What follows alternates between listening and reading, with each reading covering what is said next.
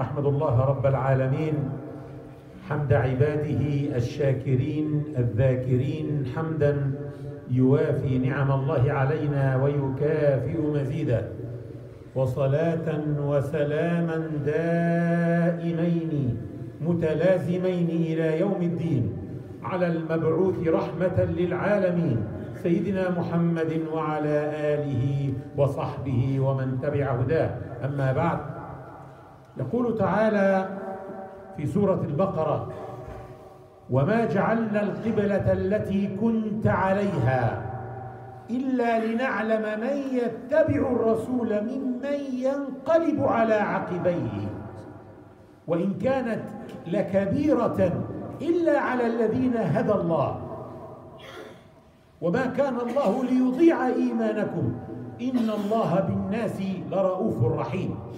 Allah subhanahu wa ta'ala said in Surah Al-Baqarah, we only assign the direction of prayer which you formerly followed,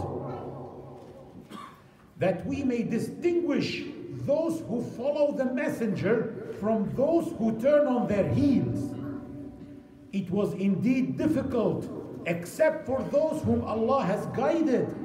But Allah would never let your faith go to waste For towards mankind, indeed, Allah has always been truly compassionate, bestowing of mercy.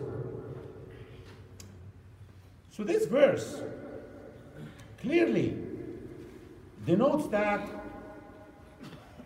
Al Masjid Al Aqsa is the Muslims' first Qibla.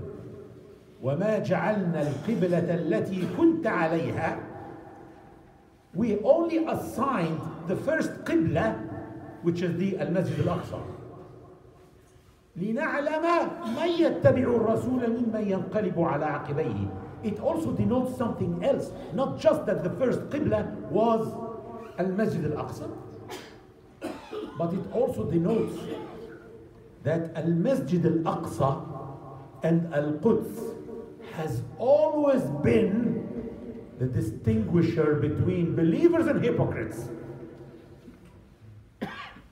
Because when Salah was ordained on Muslims at the night of Al Isra in the 10th year after the beginning of the bestowal of the Quran, after the beginning of the uh, mission of Prophet Muhammad, it continued as the first Qibla. The Masjid al Aqsa was the first Qibla, and that was for 17 months. One year and four months, or five months. Some people refuse to accept Islam if they will turn their faces towards the Qibla of the Jews. So they rejected the command of God. And Allah subhanahu wa ta'ala says clearly in the Quran that that was done, this assignment of the Masjid al-Aqsa to be the first Qibla was to distinguish between people. The obedient and the disobedient. The believers and the hypocrites. And today, today again, Al-Masjid al-Aqsa is still the distinguisher that distinguishes between people. A believer and a hypocrite. An obedient and a disobedient to Allah. Today, Al Masjid Al Aqsa and Al Quds is the test of faith at which many mosques have fallen. Many mosques have fallen of self appointed leaders in the so called Muslim countries and of even sheikhs and imams. Some of them today, at the day when Al Aqsa needs our support and Al Quds needs our support, they are teaching people to wipe on their socks. They don't want you to wipe on socks, they want you to wipe shoes of their masters. That's what they want. 17 only out of 55 presidents and monarchs responded to the emergency conference to support Al Quds out of 55 a few months ago. Those 55, all of them came with just a small signal like that from their master. And they came with their tongues lolling like loyal, obedient German shepherds and golden retrievers. This is the case now. So, shall we depend on those people in the case of Al Quds? No. We shall depend on ourselves. What can we do? The best thing to do is to revive the love of Al Quds and of the Masjid Al Aqsa and of Palestine in our hearts and in the hearts of our children. So you can actually consider this uh, short talk or khutbah as a short workshop on how to revive the love of Al Quds and to teach your children about Al Quds and about Al Masjid Al Aqsa. Are you ready to learn with me? Let's learn together. Say one, two, three. One is the first Qibla.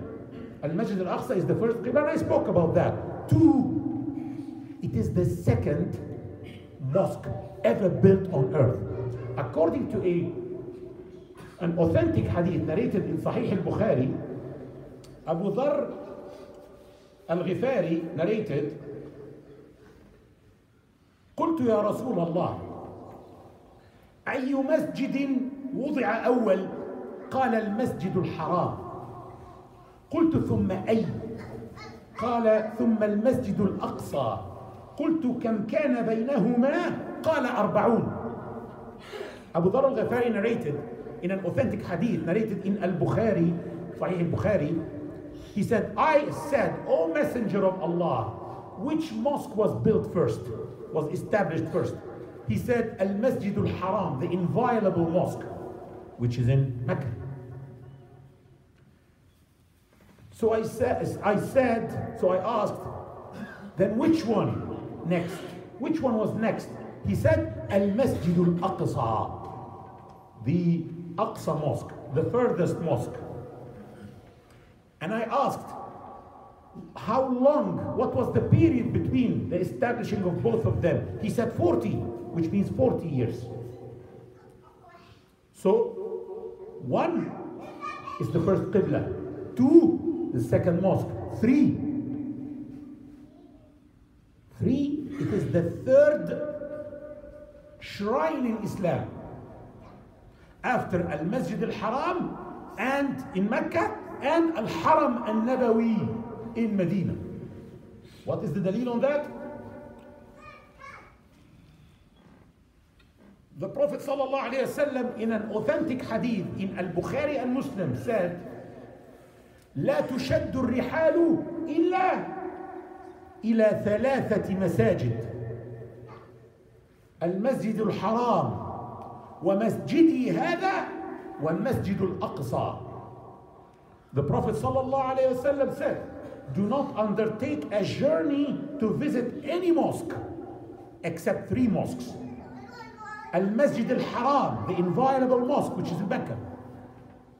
ومسجدي هذا and this mosque of mine of course the prophet is speaking. He's not speaking about Finsbury Park. He's speaking about this mosque of mine al-Masjid al-Nabawi in Medina. al-Haram al-Nabawi and al-Masjid al-Aqsa which means it is not allowed to travel to visit any mosque on earth. All mosques are equal except for three mosques. al-Masjid al-Haram in Mecca al-Masjid al-Nabawi in Medina and al-Masjid al-Aqsa in Al-Quds, Jerusalem. And it is also narrated that one salah in Al-Masjid Al-Aqsa equals 500 salah in any other ordinary mosque. So you pray there Fajr once. It equals praying Fajr in Finsbury Park Mosque for 42 years, every single day. That's a lot.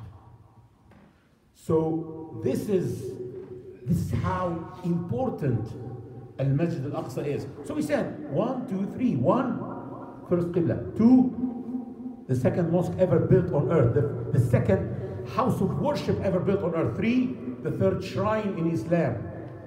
Four, is there a fourth? Yes, there is a fourth, which is it is the destination of Al Isra.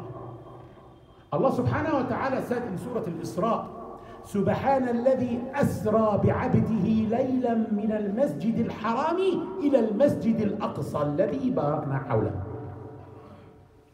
Highly exalted is the one who took his servant on a journey by night from the inviolable mosque, Al Masjid al Haram, to the farthest mosque, to Al Masjid al Aqsa, whose precincts we have blessed. So the destination of Al Isra is what? The Prophet ﷺ, Masra is Al Masjid al Aqsa. And this verse is so important. This ayah in the Quran is so important because it ties a knot between the three mosques Al Masjid al Haram and Al Masjid al Aqsa. The, the ayah says, Subhana alladhi asra bi'abdihi. Highly exalted is the one, Allah, who took his servant. Which servant? Moses? Jesus? No, Muhammad.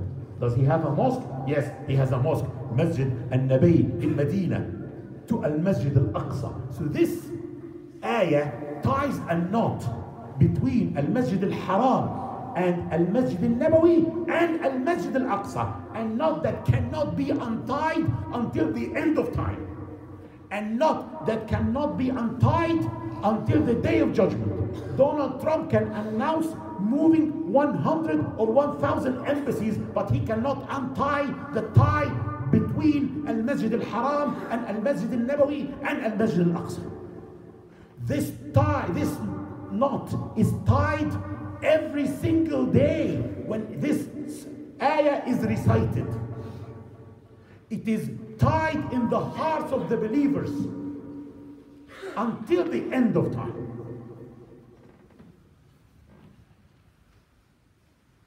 We said one, two, three, and four. One, first Qibla. Two, second mosque ever built. Three, the third shrine. Four, it is the destination of Al-Isra. Five, it is Mi'raj, it is the, the Mi'raj al-Nabi, where the Prophet ﷺ ascended to heaven. So it is in a sense the gateway to heaven. It is narrated that the Prophet was ascended from Al-Quds, from Qubbat al-Sakhra, particularly in Al-Masjid al-Aqsa, in the presence of Al-Masjid al-Aqsa. So this is about Al-Aqsa. But what about Palestine? Is only Al-Aqsa blessed or all of Palestine? Actually, if we look at the ayat of the Quran and ponder them and reflect upon them, we find that Palestine itself is mentioned as a blessed land, a holy land in the Quran several times in so many ayat of the Quran. The ayah in Surah Al-Isra says what? سبحان الذي أسرى بعبده ليلا من المسجد الحرام إلى المسجد الأقصى الذي باركنا حوله Blessed is he, highly exalted is he, is the one who took his servant in a night journey from Al Masjid al Haram to Al Masjid al Aqsa, which we have blessed its surroundings. Some people may say, maybe it's just Al Quds. Maybe. But in many other ayat, Allah mentioned the whole, the, the land itself of Palestine. Because actually in Surah Al-Anbiya, for example, Allah says, وَنَجَّيْنَاهُ وَلُوطًا إلى الأرض التي باركنا فيها للعالمين. Speaking about Prophet Ibrahim, he said, and we uh, delivered him and Lut to the land which we have blessed for the for people of all realms. So this land to which Ibrahim and Lut uh, inhabited, it wasn't just Al-Quds, actually Ibrahim lived in Hebron. So the land itself was the land of Palestine. Also in Surah Al-Anbiya, Allah subhanahu wa ta'ala spoke about Sulaiman. May, Allah, may peace and blessing be upon him. ولسليمان الريح عاصفة تجري بأمره إلى الأرض التي باركنا فيها وكنا بكل شيء عالمين. And to Solomon the stormy wind blowing at his command towards the land that we have blessed. Sulaiman ruled all of Palestine. He was a king and he was a prophet. He wasn't only ruling Al-Quds. So Palestine, all of Palestine is a blessed land. So we mentioned a lot about Al-Quds, a lot about Palestine, a lot about the Masjid al-Aqsa. But is there anything else in Palestine which can be as significant as Al-Masjid al-Aqsa and as Palestine, as the land? Actually, there is something else which is more significant and more important than Palestine and then Al-Masjid Al-Aqsa. And it is in Palestine, and I will tell you about it in the second khutbah, inshallah. أقول قولي هذا وأستغفر الله لي ولكم.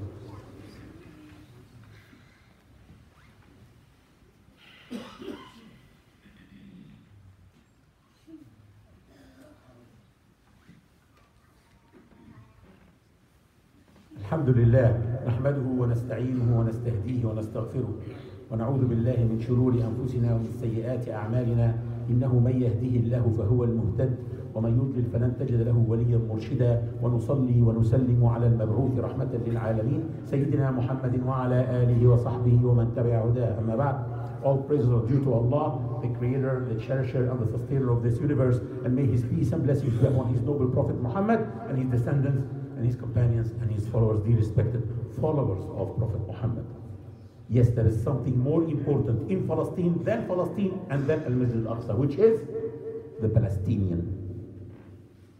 The Prophet ﷺ said in an authentic hadith by narrated by Al Bara ibn Azib, لزوال الدنيا أهون على الله من قتل مؤمن بغير حق. the Prophet ﷺ said, if this world were to be destroyed, that would be less significant before Allah subhanahu wa ta'ala than the unlawful killing of a single believer. A single believer. Especially a true believer, like those in Palestine. Hypocrites have been telling us for decades Palestinians sold their land It's the Palestinians who sold their land, trying to convince us to give up on Palestine and on supporting the Palestinians. And then by time, time proved what? That Palestinians are nearly the only people who did not sell their land. That's what time proved. The Prophet ﷺ spoke about those people and he said, لا تزال طائفة من أمتي على الحق ظاهرين لا يضرهم من يخذلهم حتى يأتي أمر الله There will never cease to be a group of my ummah manifest upon the truth. They will not be harmed by those who forsake them. So the Prophet spoke about a group of people in his ummah who will always be manifest to support the truth and about another group that will forsake them. And in a narration, he was asked, who are those, O Prophet of Allah? Where are they? He said, In Bayt al Maqdis and Aknafi Bayt al Maqdis. In Bayt al Maqdis and around Bayt al Maqdis. Brothers and sisters, Palestine was lost before for 90 years. It fell in the hands of the barbaric crusaders for 90 years, but it, it returned back. Why did it return back? Because there were generations after generations who kept it in mind and in heart. So we have to keep it in mind and heart of our generation and of the generation of our children. This is the way to, to revive and to keep Palestine safe by keeping it safe in our hearts and minds and in the hearts and minds of our children. أقول قولي هذا وأستغفر الله لي ولكم فستذكرون ما أقول وأفوض أمري إلى الله. Oh Allah, let the Quran be the light up, the light of the darknesses of our graves. Oh Allah, I ask you to make the Quran the spring of our hearts.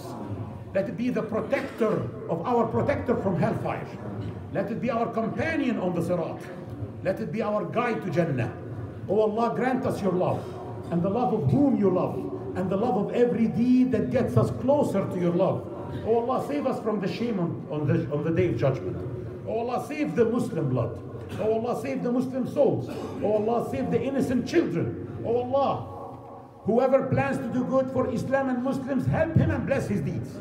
Oh Allah, whoever plans to harm Islam and Muslims, make his destruction in his own plans and show us in him your signs. Oh Allah, we seek your protection from anxiety and sorrow. We seek your protection from helplessness and laziness. We seek your protection from cowardice and miserliness. And we seek your protection from the burden of deaths and the tyranny of man. We seek your protection from disbelief and poverty, and we seek your protection from the punishment of the grave. اللهم اهدنا واهد بنا واجعلنا سببا وسبيلا لمن اهتدى. افتح بيننا وبين قومنا بالحق وانت خير الفاتحين. افتح علينا بركات من السماء وأبعد عنا الحرام والربا. باعد بيننا وبين الحرام والربا كما باعدت بين المشرق والمغرب.